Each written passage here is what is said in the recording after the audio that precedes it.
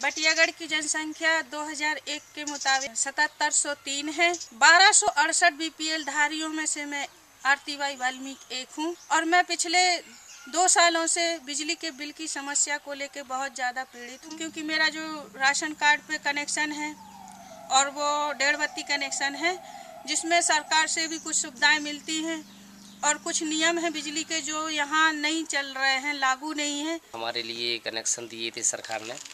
वो सत्तर रुपये के कहकर मतलब जो कनेक्शन दिए थे गरीबी रेखा के अंतर्गत जो नीचे जीवन यापन कर रहे हैं, इसलिए शासन ने जो नियम बनाए थे उसका पालन नहीं किया।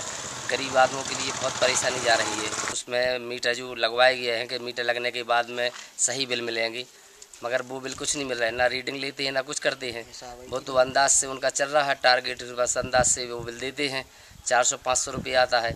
तो आदमी कुछ भरते हैं कुछ नहीं भरते हैं। जो संपन्न है तो वो भर देते हैं जो मजदूरी करते वो कहाँ से ले आए? रीडिंग चेक ना होने के कारण बिजली का हाई फाई बिल आ रहा है। इससे इस गाँव की पूरी जनता परेशान है। और अभी जो रोड से लगी हुई दुकानें हैं जो जहाँ जो बड़ी बड़ी मशीनें लगी हैं चक्कियाँ लगी हुई हैं वहाँ की कुछ जानकारी बता सकते हैं आप? चक्कियों वालों की रीडिंग लेते हैं। हम लोग डेढ़ बत्ती वालों की तो वो अंदाज लगा लेते हैं कि इतना बिल देना है। इसके लिए आप क्या बदलाव चाहते हैं? हम जी चाहते हैं कि उसकी भी मतलब पहले रीडिंग हो और रीडिंग के बाद में जो मतलब जितनी लाइट खपत हो उस हिसाब से बिल आना चाहिए। और ये वीडियो मैंने इसलिए बनाया है क्योंकि मैं इस समस्या का बदलाव चाहती हूँ और मैं ये चाहती हूँ कि हर मीटर की चेक इन हो। देखने वाले सभी लोगों से मेरी अपील है कि अधिकारी को फ़ोन करें और अपना दबाव बने, बनाए।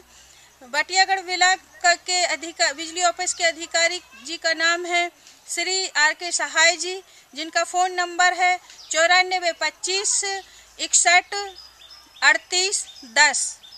मैं आरती बाई वाल्मीकि, इंडिया अनहट के लिए।